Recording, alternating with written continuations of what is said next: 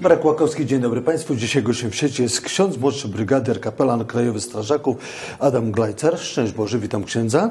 Szczęść Boże, witam pana redaktora, a parafii kościoła, kościoła Ewangelicko-Augsburskiego w Częstochowie, a rozmawiamy o zbliżającym się tygodniu modlitw o jedność chrześcijan.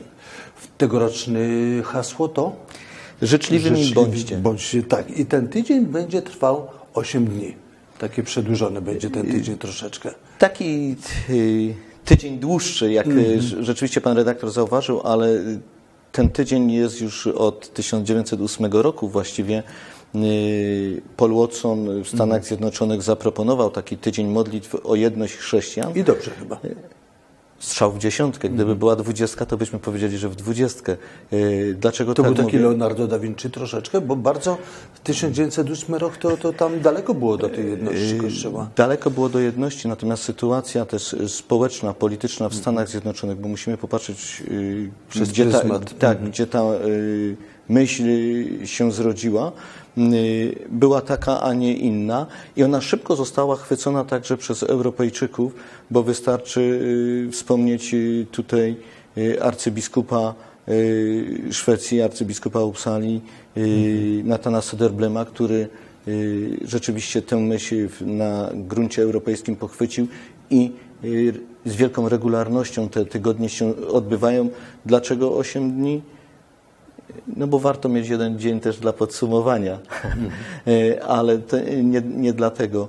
E, Kalendarz chrześcijański jest od niedzieli do niedzieli, e, natomiast wiele rzeczy jeszcze odbywało się w kolejnym dniu. Jakby to wszystko ktoś chciał podsumować. I stąd też jest 8 dni. Nie wychodzimy ponad Boży program. Rozumiem. Tak sobie myślę, tydzień modlitw o jedność chrześcijan to taki niejako rekolekcja troszeczkę dla nas wszystkich.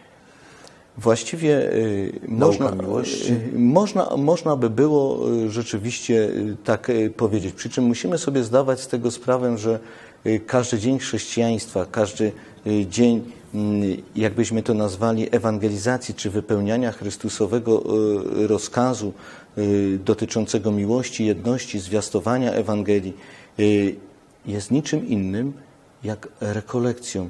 Jest z jednej strony pogłębianiem wiary, a z drugiej strony y, odnawianiem wiary, zachęcaniem y, do życia z Bogiem i przypominania sobie tych najistotniejszych y, rzeczy, o których no nie wstydźmy się powiedzieć także chrześcijanie w kościole, w kościele albo w kościołach. Mówiąc kościele, to y, uważam, że y, wkładam w to wszystkie denominacje wyznaniowe y, zapomnieli. Natomiast wystarczy przypomnieć sobie Chrystusową modlitwę arcykapłańską, y, gdzie Pan Jezus woła do Ojca, Ojcze, chcę, aby oni byli jedno, jak ja w Tobie.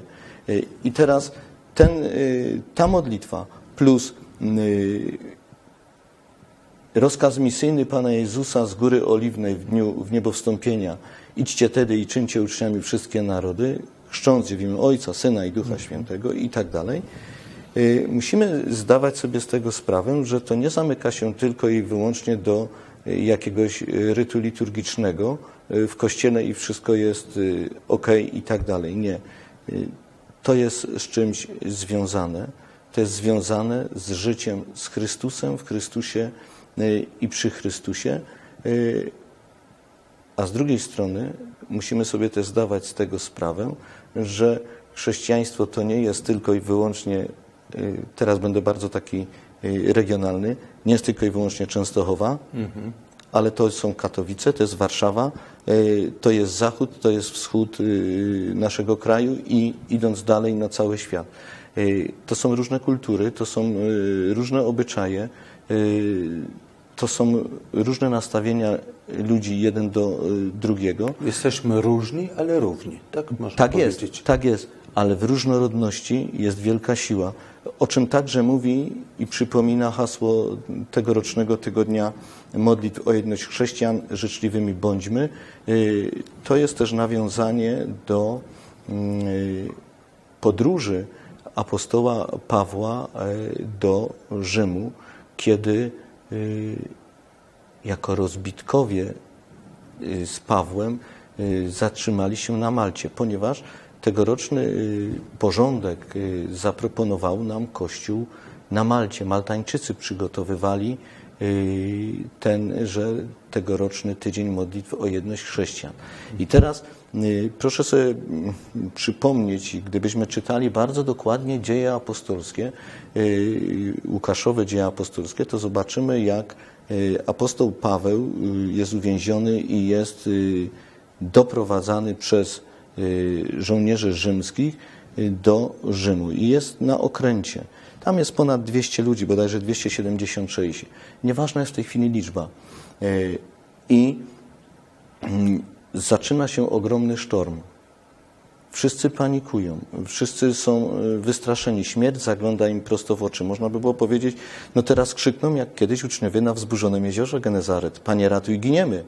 Albo, ale oni tego Boga tego nie znają. Pawła wyrzucić za burtę, bo to Dokładnie. za jego przyczyną. Oczywiście, a oni tego Boga też nie znają. Mm -hmm. Tam padają słowa Pawła. Nie bójcie się, wszyscy będziemy ocaleni.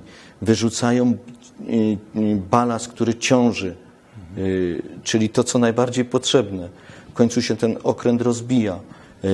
I o dziwo, nikt nie zginął, Wszyscy znaleźli się na Malcie i teraz co? Znaleźli się wśród ludzi, którzy nie byli im przychylni. Y, potrzeba było gościnności, potrzeba było hojności, potrzeba było otwartości, potrzeba było serdeczności. Kogoś, kto mówi o tym, tak? A Paweł był przygotowany do tego. Raz, że Paweł mówił, ale dwa, też swoją postawą mhm. zarażał albo zmuszał ludzi do refleksji, do zastanowienia się, dlaczego tak, a nie inaczej. I do tego też nawiązuje tegoroczny Tydzień Modlitw o Jedność Chrześcijan. My też żyjemy w, w świecie pełen, pełnym burz. Płyniemy po morzu sobie życia.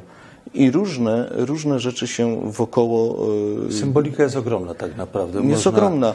Ja sobie kojarzę życzliwymi bądźcie, świętymi bądźcie. Oczywiście. Tak? Księga Królewska. Świętymi bądźcie, bo mian jest święty, mówi mhm. Bóg, prawda? I mamy do tej świętości dążyć.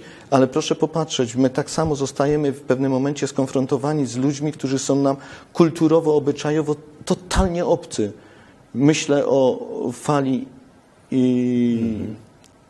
Migrantów, przepraszam, emigrantów, którzy, y, którzy docierają do naszego kraju. Na których różnie patrzymy, tak? Dokładnie. No bo ja osobiście patrzę, że tam bardzo mało kobiet, bardzo mało dzieci, a takie byczki jadą, potężni goście i w zasadzie zamiast bronić swojego kraju, to nie uciekają, tak? Y, teraz mamy, oczywiście, zgadzam się z tym, teraz mamy kolejną sytuację, kiedy odwiedzają nas y, w domach ludzie, wyglądający różnie. Tak wyciągający rękę i proszący o kromkę chleba. I co robi chrześcijanin? Otwiera drzwi tak jak y, Maltańczycy otwarli, y, czy też zamyka drzwi, czy nawet nie ma czasu, żeby z nimi podyskutować, porozmawiać. Życzliwymi bądźcie. Tu potrzeba niewątpliwie także naszego nawrócenia, Rozumiem. Y, odnowy swojej, swojej wiary. I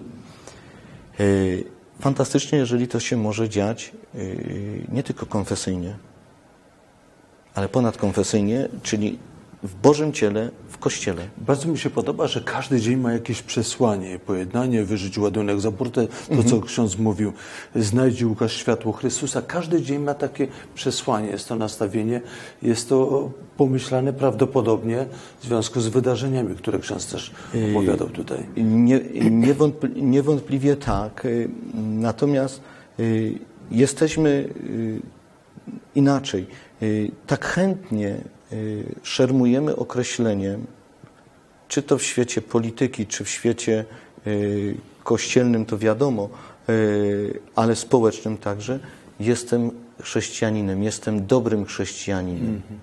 Co to znaczy być dobrym chrześcijaninem?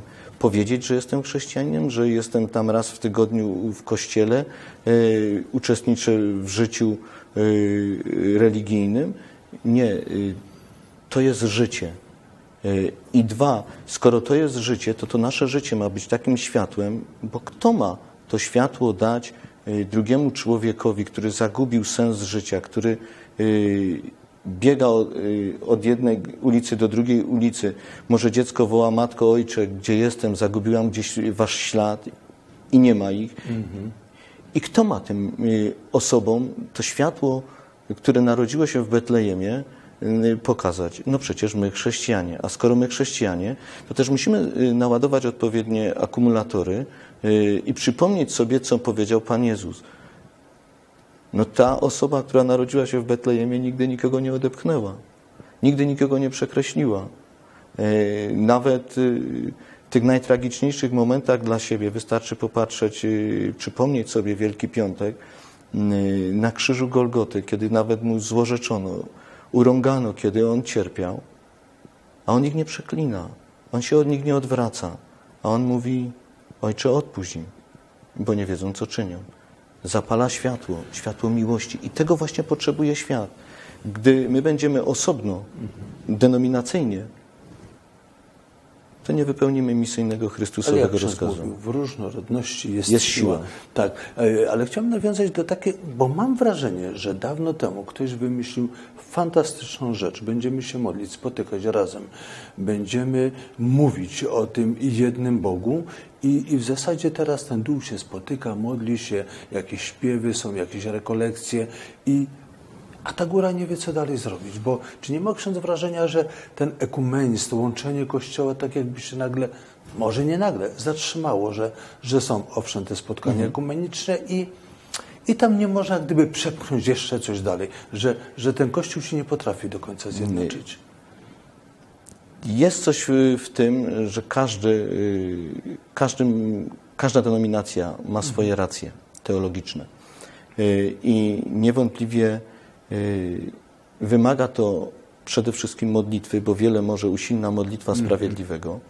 Y, wymaga to y, wielkiego teologicznego przepracowania, otwartości, wyrzucenia balastu, który nam ciąży, że ja i tylko ja mam rację. Dokładnie.